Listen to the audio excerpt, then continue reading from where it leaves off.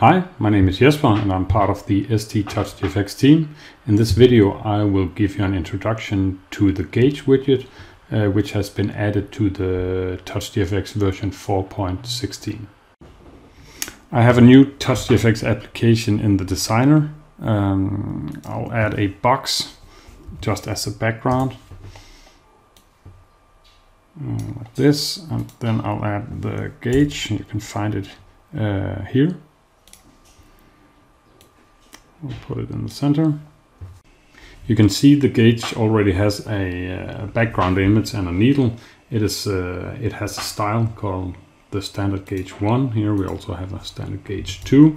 So as all other widgets, uh, when you have selected a style, you it will preset some of the properties for that widget. So in this case, the background image, uh, the rotation center, uh, the angles, and so on.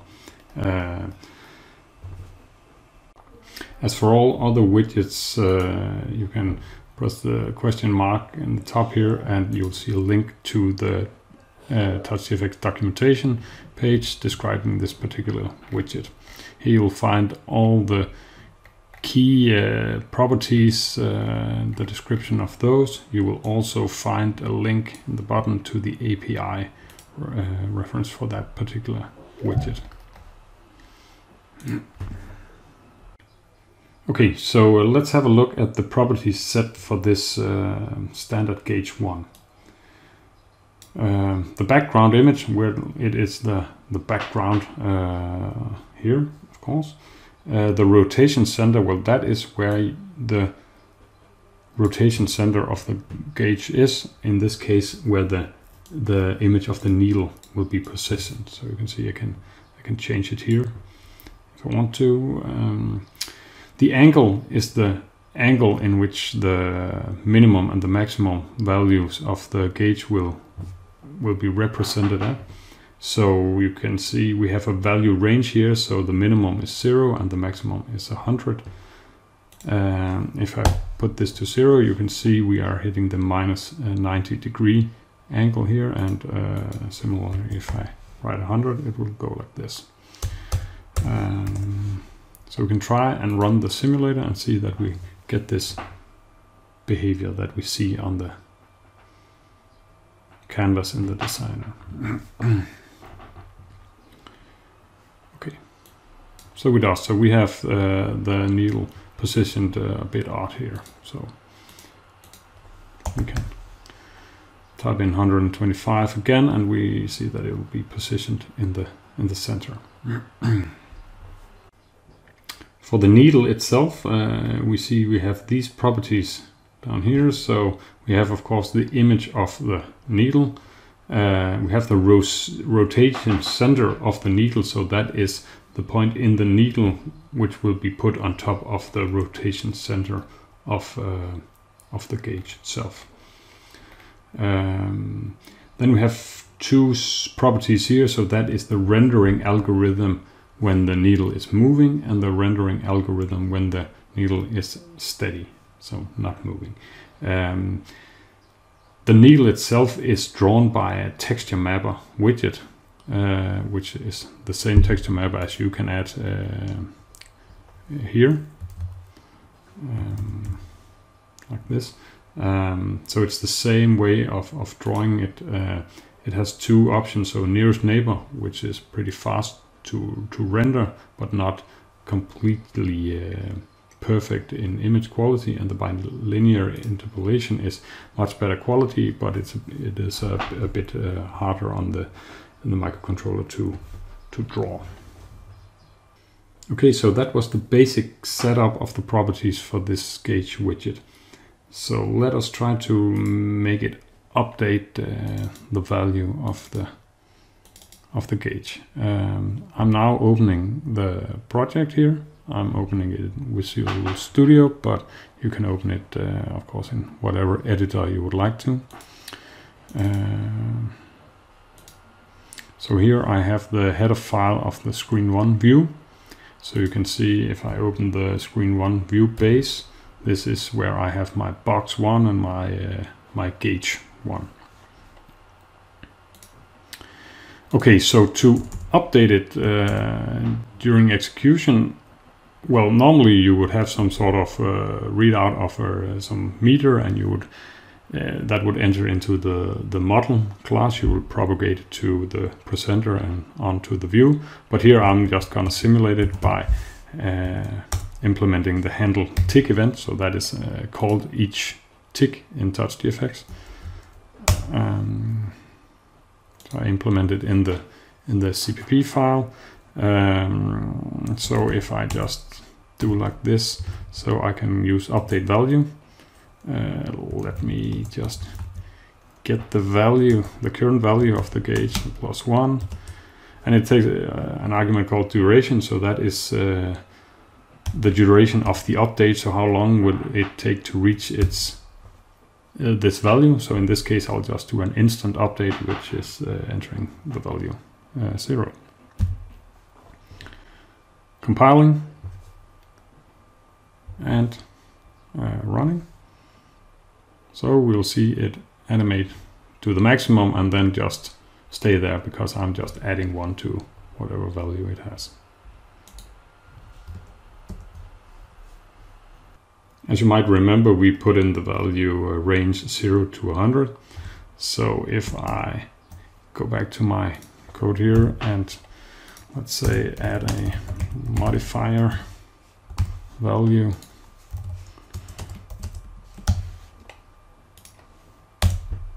uh, here. So now I add one to it.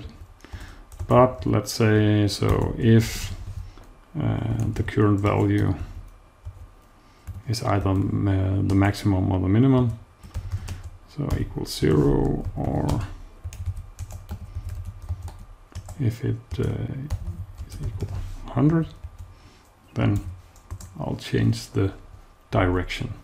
So modifier multiplied by minus 1.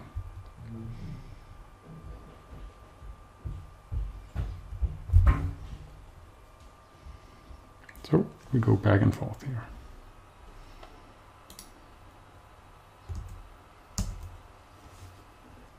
Okay, so but we, we put in the value range here in the designer, so from 0 to 100, maybe it's not the best design to just have a magic number here, 0 and 100. So if I would like to change that, I could use the get range um, um, method in, in the gauge widget. Um, so if I have a minimum value and a max value here, so I could say gauge 1 get range. So this one uh, will get you the range and it uh, takes as an argument a reference to an integer. So I can add my minimum value and my maximum value here and I will get those. And then I could put in minimum value and maximum value instead.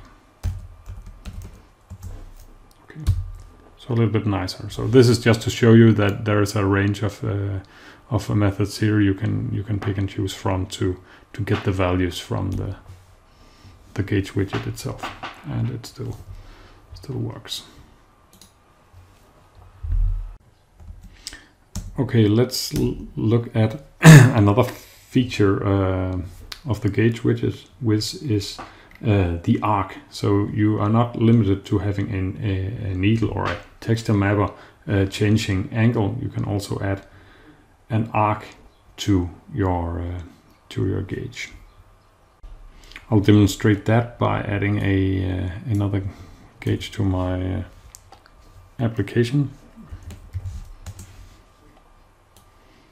I'll put that one here. So if I select the style 2, it will show exactly that. So here, if I change this, you can see the the it's not only the needle who, which is changing, but also this uh, arc here.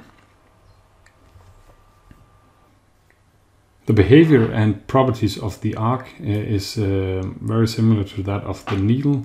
So down here you see it now says use arc. Um, it is basically a circle known as uh, like the, the circle widget itself. So here we can either choose an image or a, or a column. Uh, in this case, it's an image. So we can go and have a look at the image. So we have this background with the gray background for the arc. And then we have this arc here, which is a circle which kind of uh, changes uh, thickness. So we use that one. We have a set arc position which places the arc inside of the gauge. So in this case, it's because the image of this arc is not the size of the gauge itself. So we need to place it in the correct uh, location. Uh, and then just as a circle, we have a radius and a line width and a cap style also if you want that. Uh, you can position the arc on top of the needle, force it to be on top of the needle if, uh, if you want to. Yes, and let's just make it animate just as gauge 1. We have the same value range and the same initial value, so we should be able to just go here and uh, copy this line here so the modifier will still work. Uh, if not, we, we needed one for the gauge 2 as well. So let's uh, compile here. Run. And yeah, we see it animate. So that is the basic settings for the arc uh, if you want to learn more about it, play play around with it and see what will happen. So uh, in this case, we could try to add one in in the gauge one. Um, so I have here, so let's say radius uh, 50 and width. So zero, it will be a full arc. Uh, if it says two, we'll do like this. Uh, we can make it a bit bigger, like this. Uh, 6, the round ending. And it should be just to run the simulator and you'll see that it now has an arc as well. So this is just the color, so not an image like this one over here. So just one plain simple color. Whereas this has uh, variant in, in, in the uh, thickness, but also in the color, I believe. Okay, but uh, yeah, play around with it and see what you can uh, make of it. The last thing I would like to show you is um, how to use this duration when updating. so if we jump to the, the code once again, um, we'll need to have a, an integer uh, tick counter here so we can we can uh, hold the update uh, uh, for one of the gauges. So let's have here. So we have a tick counter now that is increasing each each tick. So here for number two, we will say if tick counter uh, modulus uh, like uh, what should we say 30 is equal zero. Then we want to update. So only each 13th time. So we can see how that looks with the duration of zero here. So uh, that will be an instant update once in a while. You can see it moves.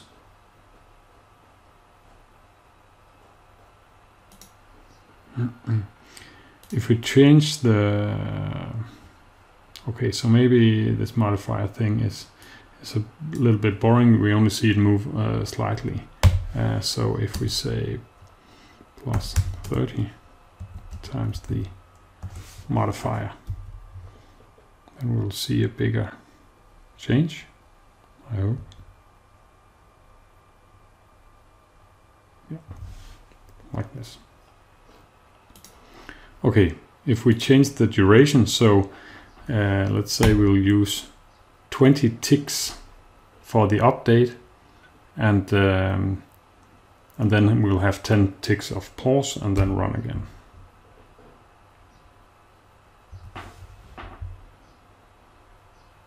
See like this, it'll move in a nice behavior. We can change the um, the movement here. So if we say uh, activate this one and uh, then the easing, we put an easing back so we could have like a cubic with the ease in out. Generate the code back here, compile again. And now the, the movement of the needle will be slightly different following that uh, particular easing equation.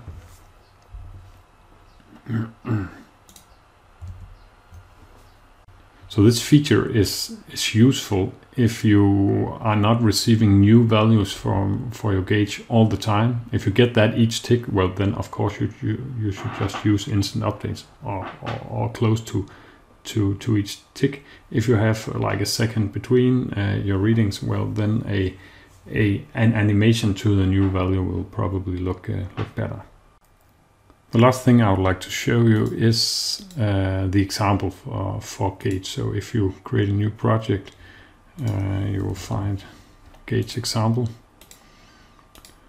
Try to to have a look here uh, at this. So here you have three examples of, of different gauges. So let me just compile it. You have three different screens with each of of its uh, of uh, each gauge. So first of all, we have this one. So here you see a needle and actually an arc, but in this case, just showing uh, dots. Second one, um, you have you may you do a readout of the current value of the gauge and then you update an uh, text and actually also changes color on this icon or changes the image of the icon. The last one is just one big arc uh, underneath an, a big needle. Okay, that's all from me. Hope you enjoyed the, this video and uh, uh want to have a look at the the gauge widgets that has been added.